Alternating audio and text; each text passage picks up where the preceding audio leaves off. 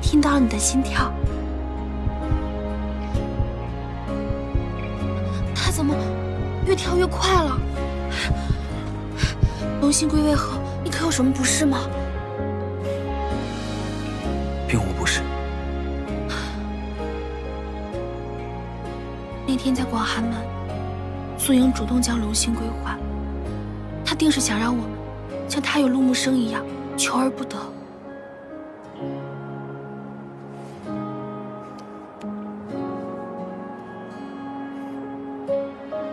耀辉，相信我，虽然你我相克，但我们定不会同他们那般。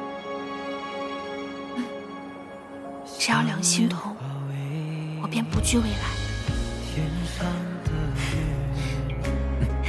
悄悄替我爱你。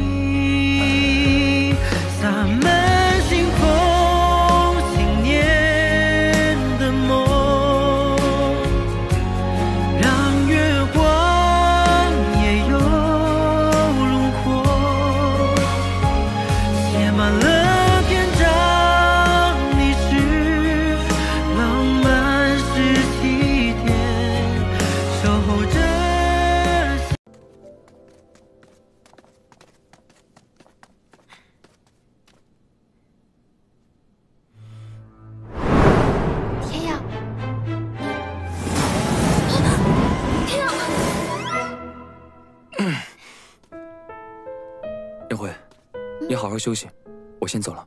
哎，等等，你不记得这儿都发生了什么事吗？不记得了。不记得了，没关系，那我讲给你听。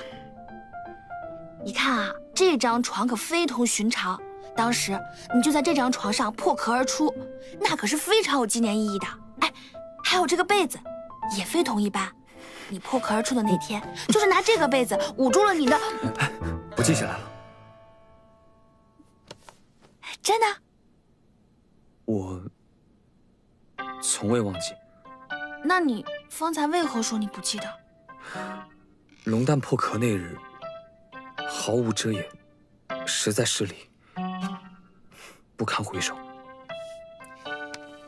我们都经历了这么多，还成了两次亲，什么需要遮掩的呀？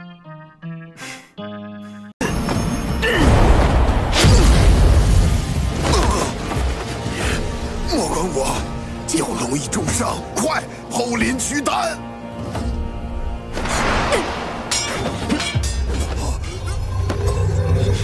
青光老头，你休要坏我大事！你我之身祸乱世间，今日幸得龙火点醒，我便要将你重新封印。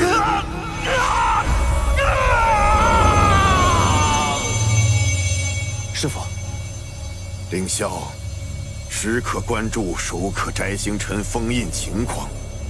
每年今日记得来此，助为师加持封印。